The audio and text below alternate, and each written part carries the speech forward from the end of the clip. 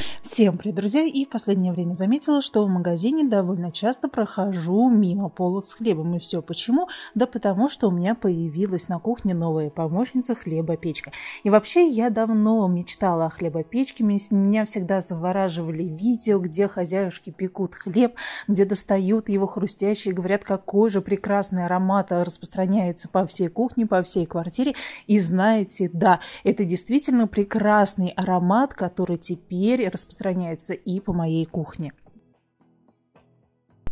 И у меня появилась вот такая хлебопечка фирма Оберхоф серия Брата F4 в сером цвете, которая прекрасно вписалась на мою черно-серо-красную кухню. И да, я люблю подбирать бытовую технику, чтобы она сочеталась между собой даже по цвету. Это универсальная хлебопечка, которая позволяет э, изготавливать и выпекать хлеб массой до 1 килограмма. Вообще есть три варианта использования, три варианта размеров буханочек хлеба от полкило до 1 килограмма. 15 автоматических программ, что очень удобно и не нужно ломать голову, искать в интернете, как, что готовить. Можно приготовить просто хлеб французский, цельнозерновой. И, кстати, я уже закупилась разной мукой и теперь постепенно пробую себя в этом деле. Есть функция приготовления быстрого хлеба, сладкого хлеба, хлеба для сэндвича, даже безглютенового хлеба. Есть еще интересные функции, например, как приготовление йогурта, десертов, замешивание теста для приготовления джема, тортов, выпечки, а также функция для своих каких-либо настроек, но я пока не пробовала. Тут, я думаю, мне нужно сначала проверить все способы, все программы, а там уже и экспериментировать. Комплектация мне понравилась. У нас есть стандартная хлебопечка, съемная форма с антипригарным покрытием, которую даже смазывать ничем не надо. Хлеб отходит просто идеально.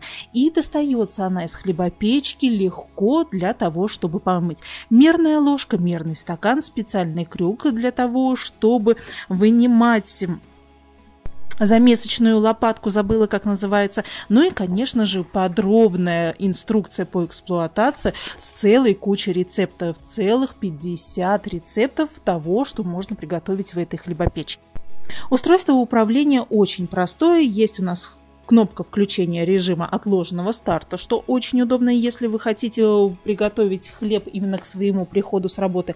Кнопка запуска остановки программы приготовления, также регулятор, при помощи которого можно менять программы, а также изменять э, время готовки, а также регулятор бегунок для выбора автоматической программы и для варианта цвета корочки. Всего получается у нас цви...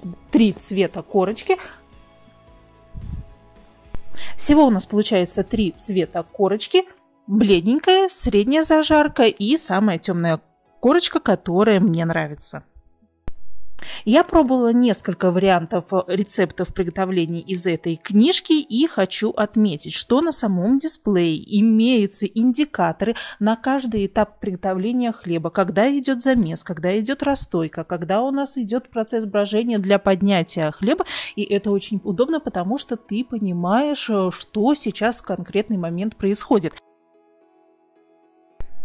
А еще у этой модели есть специальный дозатор, куда можно насыпать какие-то орехи, сухофрукты и другие ингредиенты, которые в процессе замешивания необходимо добавить в хлеб, в тесто. А обычно орехи, например, кунжутные семечки или еще, например, семена чая не добавляются сразу в тесто, а они вносятся именно в последнем этапе замешивания, и тут очень удобно. Засыпал в эту емкость, поставил, и когда нужно, все это высыпется и в тесто добавится.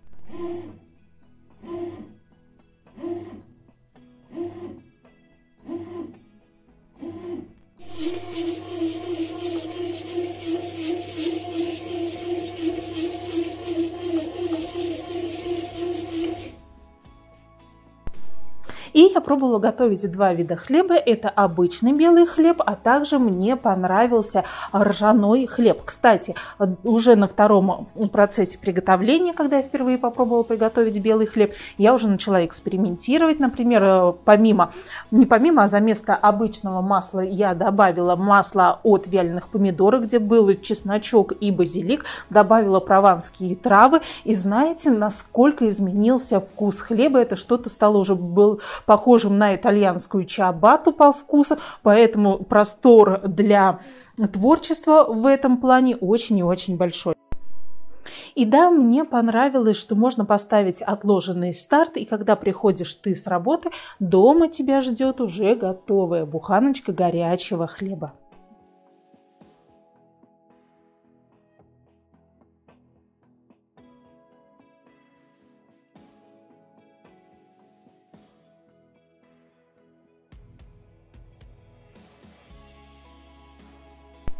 Но для приготовления ржаного хлеба, естественно, я купила ржаную муку, тем более, что без проблем даже в магнитах и пятерках можно ее найти. Хлеб получился обалденный, и я просто не могу передать тот аромат, который стоял у меня в квартире, и даже соседи по подъезду тоже заметили, что кто-то выпекает хлеб, но я не созналась, что это была я.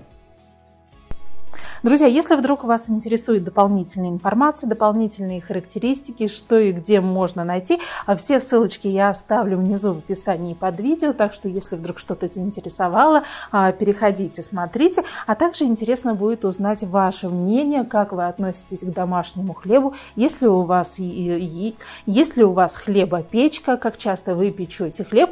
Я пока нахожусь на том этапе, что я пеку хлеб э, каждую неделю, и нам с дочкой это действительно нравится.